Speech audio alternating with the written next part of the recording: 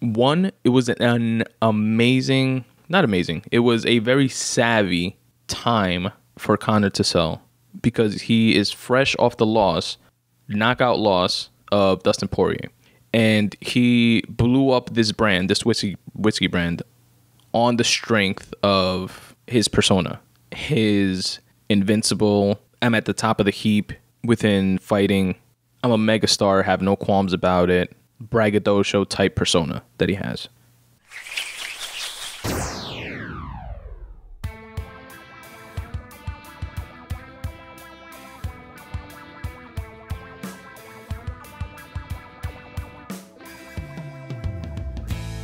What up, what up, folks? What's going on? Welcome to the Spun Today podcast, the podcast that is anchored in writing but unlimited in scope.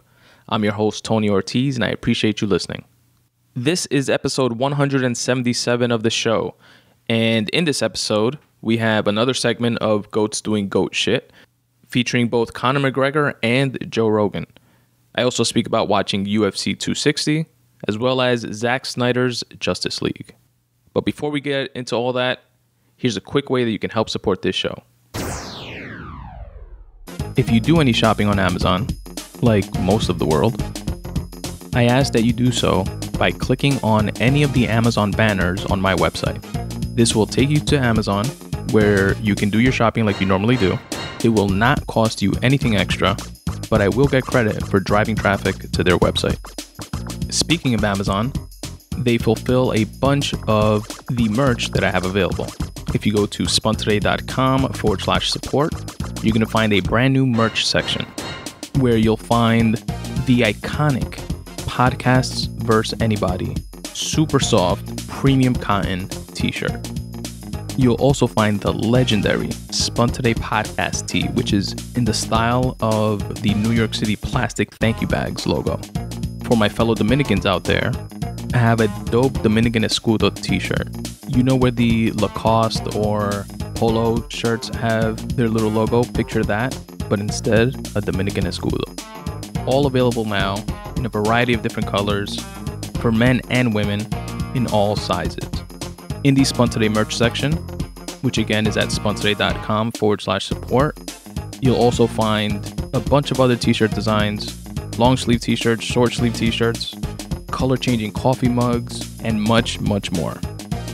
Check out all the merch at spuntoday.com forward slash support. First up in Goats Doing Goat Shit. Mixed martial artist superstar Conor McGregor just sold his stake in the spirits company that produces Proper 12 whiskey for $156 million to Becle, which is the Mexican company that owns Jose Cuervo tequila. Here's how that story unfolded. In 2018, the company Becle helped Conor McGregor and his manager, Audie with the financing to launch Proper 12 whiskey. Keep that in mind, that's going to be important later. And I'll repeat it real quick. The company Becle helped Conor McGregor and his manager, Audie Attar, with the financing to launch Proper 12 whiskey. This was back three short years ago in 2018. And for those of you that don't know, Proper 12 whiskey is a whiskey that Conor McGregor started. Uh, he purchased a distillery in Ireland, and it's named after uh, his uh, hometown where he grew up, etc. And he's been popularizing it using, you know, his stardom over the past three years. Within the realm of spirits, it's like a direct competitor to other Irish whiskeys like Jameson, for example, which is the leader in that space. Then, after being launched, that same company, Becle, purchased a 20% stake in this new whiskey company. Then they upped their stake to 49%. The other 51% owned by Conor, along with Audie Attar, who has some unknown percentage of that 51%. I don't know if he's just getting a management commission of that 51% or if he has some other some other split that we're not aware of. That's not public, or at least that I wasn't able to find. And now that same company Becle purchased the remaining 51% stake worth $156 million, which raised Conor McGregor's net worth to $278 million. Now, two things I want to touch on aside from the obvious impressive $156 million return on investment within three years. and you know 156 minus whatever the dealings of that initial financing help that Becle assisted in facilitating. One, it was an amazing, not amazing, it was a very savvy time for Conor to sell because he is fresh off the loss, knockout loss of Dustin Poirier. And he blew up this brand, this whiskey whiskey brand, on the strength of his persona. His invincible, I'm at the top of the heap within fighting. I'm a megastar, have no qualms about it braggadocio type persona that he has. You know, this is a guy that had a a fairly me- meteoric rise within the UFC. Was the first, I believe, the first two division champion. He like was unstoppable until Nate Diaz, but then continued on another run after that. After avenging that loss to Nate, then was stopped obviously by Khabib. Was so big of a persona that he finagled a professional boxing match with arguably one of the best boxers ever in history. Definitely one of the best defensive boxers in history with Floyd Mayweather, and reportedly made over $100 million just in doing that. So he went from UFC to boxing, lost there, obviously, back to UFC. And in this lead up to the Dustin fight, which was the second fight that they had, I covered it in previous episode. Uh, Conor McGregor knocked out Dustin uh, the first time they fought as part of that meteoric rise that I just referenced, and Dustin got the better of him and knocked him out very convincingly during this bout. But leading up to this, Conor was already like looking past Dustin. You know, after beating Dustin, he was negotiating a bout with a another boxing match with Manny Pacquiao. So he has like this badass aura about him, being able to you know traverse sports and you know just based on his marketing ability, being able to warrant these huge money fights with other huge megastars and that's all part of his brand and his image and why the popularity of proper 12 aside from being like good business and him getting being able to to work into his dealings to get sponsorships to being being a sponsor of like UFC events being a sponsor of boxing events. But it's all kind of sort of riding on that persona right? So once Dustin stopped him as convincingly as he did and it was via, via striking was standing up he got knocked out I'm sure the negotiations with Pacquiao went out the window. Like that took the wind out of the sails of that. Wherein he then turned around and sold his remaining stake in Proper 12, recognizing that. I'm sure if he would have beat Poirier, the hype behind the Pacquiao fight would have been as big as it was behind the Mayweather fight. And if that was the case, he wouldn't have sold Proper 12, I believe. And I've heard other folks say similar things, so I, it's definitely not an original thought, but I completely agree with that with the logic behind that that statement because the branding underpinning that value would have increased with a win, win against Poirier and a hype behind uh, a potential Pacquiao fight. So it was definitely savvy on his part to sell when he did. So kudos to Conor and Audie Attar for recognizing and executing on that. And the last thing I want to mention about the deal, how ill of a chess move is it from Becle's standpoint. So Becle is the Mexican company that owns Jose Cuervo Tequila. How ill is it of them to notice and seemingly having this calculated from the beginning to they go from assisting with the financing, putting Conor and his manager in touch with with whoever they had to put them in touch with to get the financing to start this proper 12 journey. Then they invest a 20% stake after launch. Once they see the returns on that, they increase their stake to 49% all the while probably knowing that every dog has his day, right? When it comes to to sports, especially within the fight game. At which point, from their perspective, and this is me speculating, obviously, let's let this guy popularize this brand as much as possible, increase its value as much as possible, and when the time is right, we being their biggest partner in the deal, we'll give them an offer he can't refuse and buy him out, and we'll continue doing what we do, what we know how to do within the spirits game. And that's exactly what they did. They took that 49% stake and then bought out the remaining 51% when the time was just right. And that's Conor McGregor and Goats doing goat shit. Next up in Goats doing goat shit is Joe Rogan, my unofficial podcasting mentor, as I know he is for so many others within his orbit. So, for those of you who don't know, aside from being the host and creator of the largest podcast on the planet and someone who's been on a couple of syndicated shows since syndicated shows, as well as the a top tier and most popular commentator for the UFC.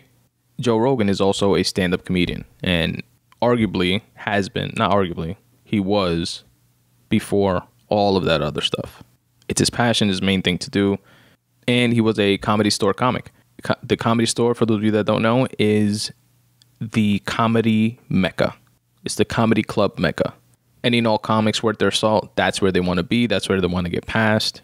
Especially on the West Coast, here on the East Coast, in New York specifically, they the closest to that is the Comedy Cellar.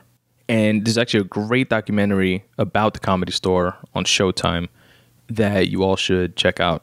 But in short, comedy has had always had like highs and lows over the years in terms of like its popularity, but the Comedy Store has always been a constant in terms of being that place, the place where the heavy hitters go. And Rogan was a comic there, uh, paid regular there, and there was this now infamous beef between him and Carlos Mencia. Carlos Mencia was a very popular comic back then, had like a Comedy Central uh, TV show, and he's known to be a joke thief. Like literally to the point where other comics would come up with ways to let other comics know by like turning on certain lights within the comedy store um, to let other comics know, yo, Carlos Mencia is here. Don't use your good material when you're on stage because they knew that he would just steal it and and write it off as, as his own. So Rogan being Rogan confronted him publicly on stage after like so many other comics were literally robbed by Mencia and he did so on stage in a now infamous clip that I'll try to find and link to it within the episode notes if you guys want to check it out. But pretty much Carlos Mencia went on stage defending himself. Rogan was there on stage with him. And Brian Redban, which was the person that started the Joe Rogan Experience podcast with Joe Rogan um, as his uh, producer, uh, which is the role that Jamie has now filled. He was there recording it on like his cell phone, like recording the incident. That's why we have the footage. Long story short, at this confrontation and other comics being like, "Yes, finally, you know, somebody you know like stood up for us." There was a new management at the comedy store because Mitzi was already like elderly and, and ill. And Mitzi Shore, the person who started the the comedy store, or actually not started rather because it was started by her husband, but who gained the comedy store from the divorce and made it to what it became. At this point in time, even though you know Rogan had his like uh, Fear Factor and news radio syndication money and stuff like that, he wasn't the like cultural icon that he is today, right? And he wasn't at, like as big of a comic. Meanwhile, Carlos Mencia was at the peak of its popularity. He was super popular around this time. And the comedy store management sided with Carlos Mencia. And this is even though, again, it was like a, a, a different management, but even though Rogan had, you know, been there for years and he himself like paid for like the sound system within the comedy store and and there's like other stories like that that have been corroborated and like he they were under like the same management apparently Rogan and and Mencia, so it was like a big thing. And his management even told Rogan that he should apologize to Mencia because Mencia is like the moneymaker for them or whatever, quote unquote, at that time. Uh, Rogan made the decision to, after telling them, and he tells the story, he's like, after sign them, are you sure that you want to, in this situation, back someone who's knowingly stealing from other comedians? You want to back a thief in this situation? And he had like the backing of every single comic there. They said yes. They went with Mencia um, Rogan then decided to either his management dropped him or he fired his management immediately and he left the comedy store and vowed not to go back. That since obviously blew up in their management's face and and the comedy store as well um because it became like a ghost town thereafter.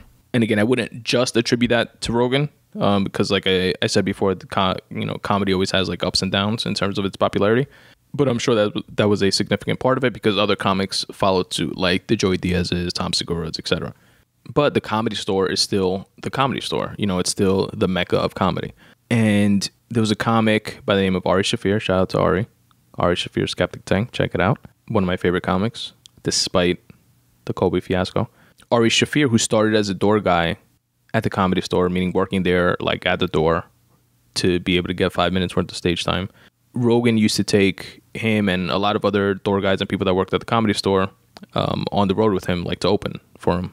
And after I think it was like seven years or so of Rogan never going back to the to the comedy store, and during this time, the Joe Rogan podcast became or was on its way to becoming uh, what it is today, but was already like wildly popular.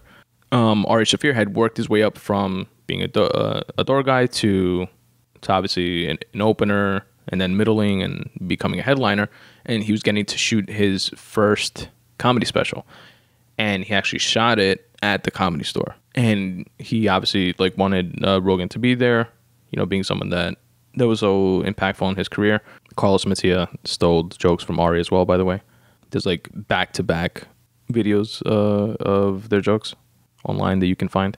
And Rogan made the decision for that for such a special occasion to do so to go back uh, for Ari, and he didn't want the like attention to be on him going back, so he went back like a couple days before uh, the actual shooting of the special, just to you know take the I guess like the attention away from him going back to the comedy store, away from him in time for when Ari shot his special, and then at that point, comedy store was under new management, which had previously you know for years tried to get Rogan to go back. Um, but this actually made him finally go back, and then by this point, the comedy store and comedy in general, largely attributed, by the way, to the Joe Rogan Experience podcast and all the comics that he had on there and, and telling comedy stories and stories of being on the road and stuff like that. Comedy was on the upswing again in terms of its popularity.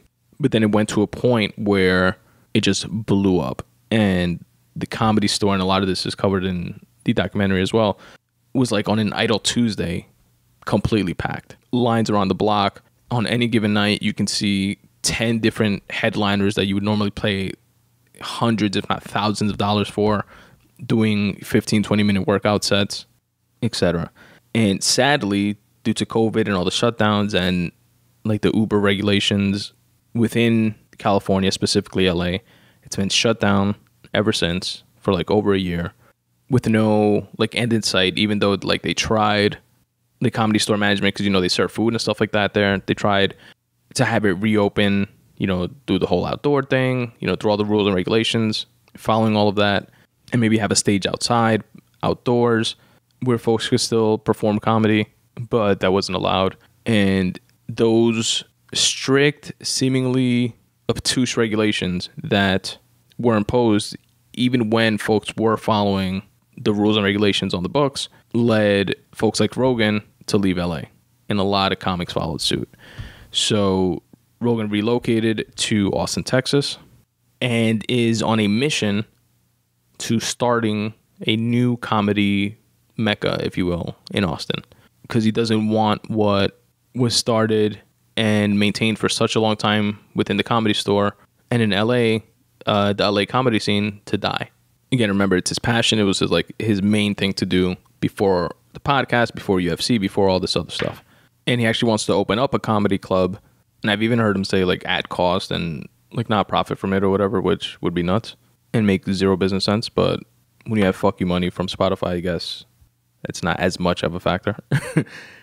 um, definitely one club, maybe even two, to have like a separate like workout club for like comics starting out. Um, he definitely said at least two open mic nights and stuff like that. And but anyway, the dope thing is that like a lot of like comedy is beginning to happen because uh, you know Texas is like less restrictive. And oh, it's actually where Dave Chappelle in the segment that I had of Goats Doing Goat Shit with Dave Chappelle and the whole Comedy Central Chappelle Show thing, um, where that was shot at Stubbs Barbecue. That was part of like shows that Rogan and Chappelle do together, which sidebar like they they were doing pre-pandemic they were doing arenas together headlining arenas together stadiums together dave chappelle and joe rogan and the scene that he's establishing is, is such that chappelle who lives like remotely like in ohio somewhere is even considering moving to austin as well but we'll see if that happens i don't see that happening really but other comics that have moved to austin which makes this uh, comedy scene even more likely more promising are brian redban Tony Hinchcliffe, Tom Segura, Christina Pazsitzky, Tim Dillon, Bert Kreischer's on the fence. He's a maybe. Joey Diaz, Rogan offered to like buy him a house, move his whole family, all types of shit. But Joey actually moved out to here to the East Coast, back to Jersey, where he's from. Rogan's still holding out hope that after after a winter or two, he's gonna say fuck this weather and and move out to Austin. Theo Von moved to Nashville. Andrew Schulz is currently in Florida. Supposedly, Hippocrates is saying that it's for you know a couple months while it's cold in New York, but we'll see. But it's a lot of folks and a lot more that are supposedly going to make that move, and it's going to be really interesting to see what Rogan is able to build out there in Austin, Texas. And I'm excited for it. I'm excited for comedy and can't wait to see what's going to be coming down the pike. And that's Joe Rogan in Goats doing goat shit. UFC 260. Sugar Sean O'Malley beats Thomas Almeida in the third round with about a minute and change left to go. O'Malley looked really good during this fight. There was some talk around his ankles being weak and being shot after his previous loss to Chito Vera, where either stepping wrong or getting leg kicked a bunch fucked with his ankle and his leg was just like unusable apparently during that fight. Then he got swarmed. This was his first fight back from that, and he looked great. Dancing around, dominating, being flashy, very visually appealing fight from that perspective. He was out striking Almeida. Uh, going into the third, he was clearly up two rounds. I think some cards had the first round as a 10 8 round from striking, which I'm no expert, but I believe that's rare. You normally see like a 10 8 round when somebody just gets like taken down and ground and pounded for like the full round or or or you know more than half the round, etc. Or like really convincing things happen, like almost knocked out and stuff like that, which wasn't the case in the first round. He was just like straight striking and dancing, dancing around type of thing. And actually, I take that back because I I I was thinking it was the second round, but I think it was the first round where O'Malley head kicked Almeida and knocked him down, and he did his usual like walk off knockout type of thing, which I like by the way on on two fronts. One, it just looks badass, like that cocky like one hit and then just walk off like yeah that guy's knocked out before the ref even stops it. But also from the perspective of the guy that does get knocked out, who sometimes we see you know taking extra damage that could be avoided, like two or three extra hits after them being knocked out before the ref is able to like jump in and stop the fight. So from that perspective, it's kind of better for them as well, in my opinion. I know refs don't like it because they're like, "Yo, I stopped the fight, not you," but still. Anyway, so O'Malley gets this head kick and starts to do a walk off, but the ref doesn't stop it, and Almeida kind of sort of like comes to, continues the fight, which is just like a testament to how tough he is.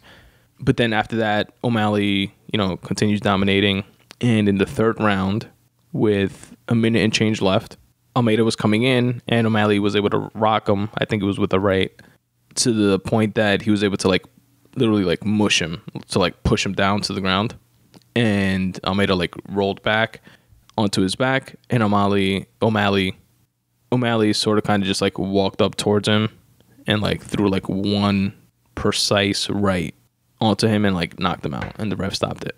It was a dope fight. Definitely looking forward to Sugar Sean O'Malley's next fight. Tyron Woodley versus Vicente Luque. Tyron Woodley versus Vicente Luque. Tyron lost in the first round, towards the latter part of the first round, via submission.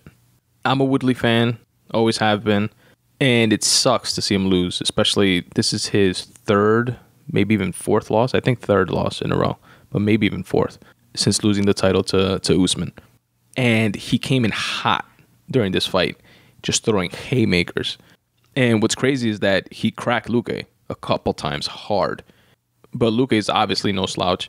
And during one of their stand up exchanges, Luque was able to like crack him back with a right, I believe. I always say right, probably because I'm a. Even though I don't remember exactly if it was a right or left, but he cracked him and stunned Woodley to the point that he like backpedaled to the to the cage, and Luque was able to to swarm him, take him down, and caught Woodley in a very tight Darce choke, and Woodley tapped again towards the end of the very first round, which definitely sucked to see. But Luque seems like a very promising title contender within that welterweight division. It was a really impressive win, and it actually got fight of the night bonus, And if I forgot to say before, the Sugar Sean O'Malley and Thomas Almeida fight got performance of the night, or O'Malley did rather. But the fight of the night was awarded to this Tyron Woodley and Vincent Luque fight. And Dana even mentioned it in post-fight uh, press conferences that it was like Woodley's. Dana said fourth uh, loss in a row. I think it's third though. Um, and mentioned that Woodley's 39 years old and it may, may be time for for him to hang it up. But Dana has always had like this ongoing like feud beef with Woodley. They've had like back and forth, so we'll see what happens with that. Now on to the main event of the evening, which also got a fight of the night bonus. Which for those of you who don't know, that means each fighter gets an extra fifty thousand dollars for putting on a dope performance. For the heavyweight championship, Stipe Miocic and Francis Ngannou. Which, by the way, if you guys haven't heard Rogan's podcast with Francis, definitely check it out. What that dude went through migrating from Cameroon and the multiple attempts and the poverty that it came from from like to the point that like used to walk like miles barefoot to school and his family didn't even didn't have a pen or paper for him to go to school um, like crazy shit but he was able to like escape that poverty and migrate through like rafts and like canoes and like hiding in the water and getting to like different countries and eventually and he got caught multiple times and sent back and then eventually made it to like France I believe it was. And it, it's it's nuts. It's a crazy story. You guys should check it out. But yeah this is their second fight. Stipe in the first fight was able to stop Francis surprising to most because Francis has like the most amazing one punch knockout power that I think we've ever seen but Stipe obviously has the experience was able to endure a couple of Francis's punches, take him to the ground, out wrestle him, and just keep him on the ground with his skill. Stipe is obviously no slouch, most decorated heavyweight in UFC history, has defended the heavyweight championship more times than than any other heavyweight has been able to. He's also a firefighter back in in Cleveland, which he still is, like while being an active UFC heavyweight champion. This guy's like fucking Mother Teresa in the body of a fucking killer UFC fighter. So Ngannou noticeably caught Stipe a couple times at a couple strikes in the first round. And Stipe tried to take him down. And Francis showed surprising and perfect takedown defense. And Stipe was not able to take him down as he did during the first fight when he took him down, out wrestled him, etc. They continued to exchange back and forth. Then in the second round, it was more of that. And Stipe steam seemed to stun Ngannou standing up, striking. It looked like to me when Stipe went in, like for the kill, kind of, when he noticed, oh, I heard him, let me swarm and see if I can stop him and end this fight. Ngannou was able to, while he was like backpedaling, backtracking a little bit, and Stipe was coming in, Ngannou was able to throw one of his massive power punches and just stop Stipe in his tracks. And then from there, he regained his composure. Stipe was out of it. Ngannou swarmed, caught him a couple more times, and just knocked him out. And he even at the end, again, testament to what I was saying earlier, in the heat of battle type of thing. And until the ref stops you, and the ref always steps, says, "Don't stop until I stop you. Don't stop the fight until I stop you." Francis kept going, but Stipe was like out, knocked down, and Francis did a like Dan Hendo style hammer fist on Stipe after he was knocked down on the ground before Herb Dean was able to like reach them and stop the fight. But hats off to those two guys. Hell of a fight. We got a new heavyweight champion in Francis Ngannou. We got three champions in the UFC representing Africa now, and Francis Ngannou, Kamaru Usman, and Israel Stylebender Adesanya. Hats off to all those guys. And that is UFC 260. Zack Snyder's Justice League. Here's the official synopsis. Determined to ensure Superman's ultimate sacrifice was not in vain, Bruce Wayne aligns forces with Diana Prince with plans to recruit a team of metahumans to protect the world from an approaching threat of catastrophic proportions. As always, let's give a shout out to the writers, starting with Zack Snyder Chris Terrio, and Will Beall. The story is by those folks. and the screenplay by Chris Terrio. Now, this movie has a really interesting background in that Justice League, the movie, was originally released in 2017. And it was a movie that Zack Snyder began filming but stepped away from towards like the middle or two thirds of the way through the movie. Now, I didn't know this. My brother put me onto this. The reason why he had to step away was due to the unexpected, untimely death of his daughter. Now, what happened thereafter is that Warner brought in Joss Whedon to finish the film. Joss Whedon wound up cutting like two hours out of the film because it was going to be very long, and he reshot and rewrote a bunch of scenes. And a lot of the it, it wasn't widely accepted as a as a you know good movie in 2017. I barely remember watching it. I remember liking it and thinking, oh, it was, it was pretty good. You know, no Avengers or whatever, but you know what DC movies are besides like Batman and Superman. But I remember whatever, not hating it. Um, but I also forgot it, like forgot it existed completely. And when this movie came out, I was like, oh shit, what a dope idea. and while watching the movie, I'm like having like deja vu because there's like obviously a bunch of scenes from the original 2017 footage from it that were in the 2021 version. But a lot of the critiques from it were that they didn't go into the background stories at all of a lot of the characters, especially characters that were first being featured for the first time, like Cyborg and the Flash, and even Aquaman. I I think the first Aquaman movie hadn't even come out yet. You know how Marvel did like Iron Man movies, Captain America movies, Spider Man movies, etc. Before doing like the Avengers altogether. This was like the exact opposite, and the actors Ben Affleck, Henry Cavill that played Superman, a lot of them were very unhappy and didn't want to be associated with the film after it came out. Then there were rumblings online, followed by a bunch of like fan support that there w- was another quote unquote Snyder cut, like the guy that Zack Snyder that was originally directing and, and filming this, that had to step away. And there was a, a large push from fans to release the Snyder cut, the Snyder version. After so much attention, and Zack Snyder obviously willing to, Warner wound up giving him $70 million to reshoot and refinish his original vision for the film, which gave us the Zack Snyder's Justice League cut in 2021, which is four hours and two minutes long. It's like, on one hand, no wonder Joss Whedon saw that and was like, cut half of it. But honestly, on the flip side, I saw it, really liked it, really enjoyed it, and I was not bored at all. I really liked from the film also that it was dark. It was like they showed blood. Uh, there was cursing in it. It wasn't like a PG thirteen made for kids like comic movie. It was much more graphic novel like. From the very first scene with Ben Affleck and Jason Momoa, Bruce Wayne and Aquaman, I was like hooked into the movie. I thought it was like a, a really dope dialogue exchange between the two. Aquaman like made made fun of him in a scene, saying, "So you do it dressed as a bat?" And Bruce Wayne is like, "Yeah, hey, worked in Gotham for like 20 years. And Aquaman's like, oh, Gotham, that shithole. And I have a question, by the way. If Aquaman takes off his shirt before every time before he goes into the water, which he clearly does because he's bodied up, how does he always have a shirt when he comes back out of the water? Does he just have like stashes of clothes lying around and shit?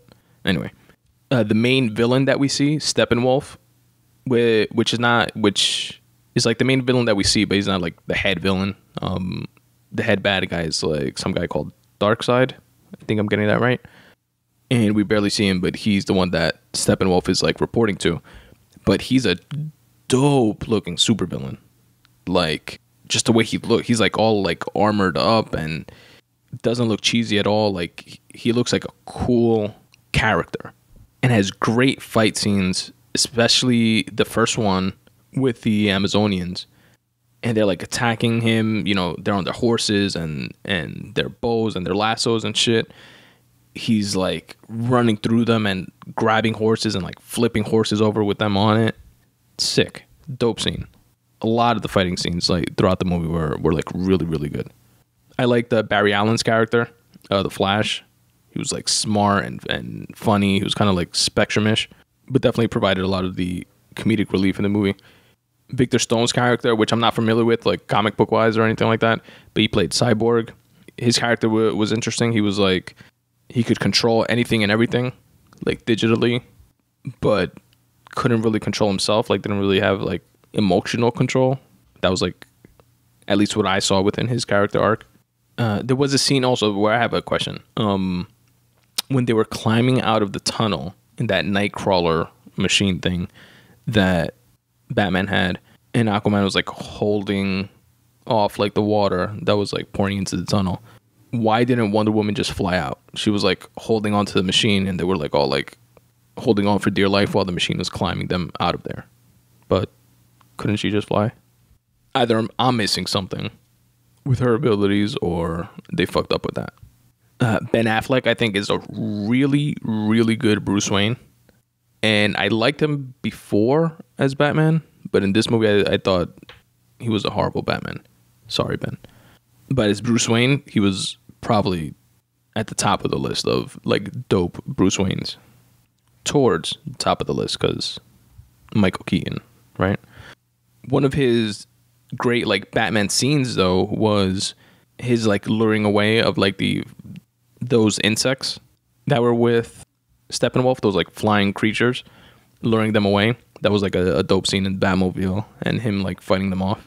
And what they shot really in a great way that kind of like immersed you within it and like you visually just got what was going on was the flashes running scenes with how everything around him slows down and you have like the electrical lightning looking pulses all around him. Like that was very visually like on point. Like you got what was going on when you saw that. And it didn't look cheesy. Like it looked really good. Like it looked really good. There was a couple other things that i didn't like like the naming of certain things which just seemed like lazy but maybe that that was just like carryover from comic books. I don't know. But like the thing they were they were hunting was an quote unquote anti life machine or anti life something. Um, there was a character called Martian Manhunter, which just sounds like a corny name. I have no idea who he is, but he kind of looked like Vision from from the Marvel universe.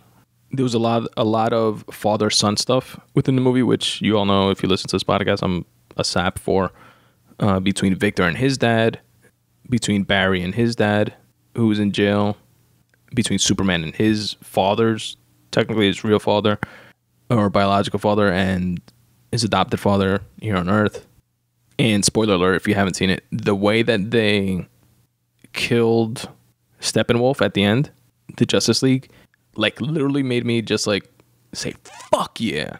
It was like a dope fight sequence and like teamwork and they just chopped his fucking head off at the end and like showed the blood and a little bit of the gore, not too much, but it was dope. And then his head just like rolls onto the ground, like it goes through this like time portal thing, or like wormhole wormhole portal thing, and the head bad guy just like steps on his head, like I knew he would fail type of thing, and he like kind of like catches his head with his foot like a soccer ball type of thing and just steps on it. It was a dope, dope scene. And then lastly at the end, it was like um, there was like a Bruce Wayne dream sequence uh scene going on, and Jared Leto's Joker's in it, which is interesting because Jared Jared Leto's Joker from uh, what was it called, Suicide Squad. He like looks wise, like I liked it. Like he could pull off like a modern day Joker, but like the character, like the modernization kind of of the character, like I really didn't like, or at least I don't now. Uh, but in this scene, it was like kind of interesting to like see them interact and it was like a weird a lot of things were going going on in that. I gotta dig deeper into like that final dream sequence thing that was going on to see all like the easter eggs and stuff like that of folks that know a lot more about like that comic book world. But it seemed like setting up a lot of possibilities to come. And it was like a culmination of bruce's like inner demons. But yeah man it was a dope movie. I definitely recommend that you guys check it out. It's four hours long but I still recommend it. Maybe in a couple sittings for you guys, but I saw it in one sitting and thought it was great. Zack Snyder's Justice League. Check it out. And folks, that is episode 177 of the Spun Today podcast. Thank you very much for rocking out with me. Let me know what you thought. Hit me up on social media at Spun Today on Twitter and Instagram. And stay tuned to listen to a few ways you can help support this show. Peace. Hey folks, Tony here. If you're enjoying the show, do me a favor. rate and review it on iTunes, Spotify, Stitcher, or wherever it is that you listen to your podcasts. If you'd like to help out the show in other ways, I'll give you a one stop shop of sorts to do so. Go to spuntoday.com forward slash support. That's where you'll find a ton of different ways to help support this show, such as shopping on Amazon. If you do any shopping on Amazon, like most of the world, I ask that you do so by clicking on any of the Amazon banners on my website. This will take you to Amazon where you can do your shopping like you normally do. It will not cost you anything extra, but I will get credit for driving traffic to their website. Speaking of Amazon, they fulfill a bunch of the merch that I have available. If you go to spuntoday.com forward slash support, you're going to find a brand new merch section where you'll find the iconic Podcasts vs. Anybody super soft premium cotton t shirt. You'll also find the legendary Spun Today podcast tee, which is in the style of the New York City plastic thank you bags logo. For my fellow Dominicans out there, I have a dope Dominican Escudo t shirt. You know where the Lacoste or Polo shirts have their little logo? Picture that, but instead, a Dominican Escudo. All available now in a variety of different colors for men and women in all sizes. In the Spun Today merch section, which again is at spuntoday.com forward slash support, you'll also find a bunch of other t shirt designs long sleeve t shirts, short sleeve t shirts, color changing coffee mugs, and much, much more. Check out all the merch at spuntoday.com forward slash support. All of my short stories can be found at spuntoday.com forward slash short stories. The free writing pieces that I read, share, and review during the free writing session episodes of this show can be found at spuntoday.com forward slash free writing. There you can read all the pieces that made the podcast as well as tons and tons of others. My books are available in any digital format of your choice, whether it's Kindle, Apple's iBooks, Kobo, you name it. They're also available in paperback. You can check them out at spuntoday.com forward slash books. My debut novel, Fractal, is a sci fi time travel story of a group of righteous travelers that attempt to right the wrongs of the injustices of the past. My nonfiction, Make Way for You, is a collection of tips for getting out of your own way. So if you need some motivation, inspiration, and a good old fashioned kick in the ass, that'll be the read for you. Again, go to spuntoday.com forward slash books or search for those titles on Amazon.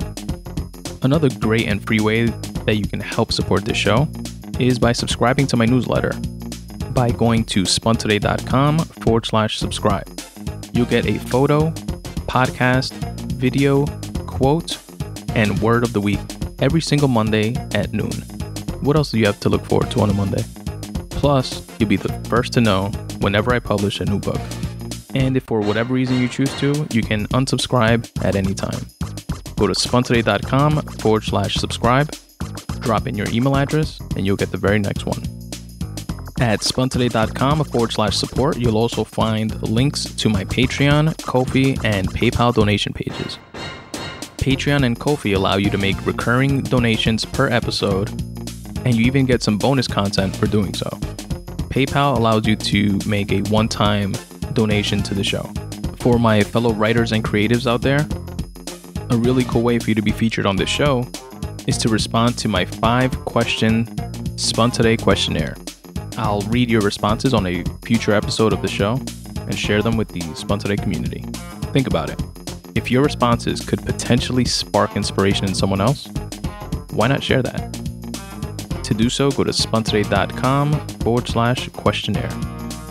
Don't forget to follow me on Twitter and Instagram at Spun Today on both those platforms. Check out and like the Spun Today Facebook page at facebook.com forward slash Spun Today. I'd really appreciate it if you subscribe to the Spun Today YouTube page. Just search for Spun Today on YouTube or click on any of the YouTube icons on my website. There, you'll not only get the full versions of this podcast, but you'll also get bonus content like shortened episode clips and much, much more. And as always, folks, substitute the mysticism with hard work and start taking steps in the general direction of your dreams. Thanks for listening.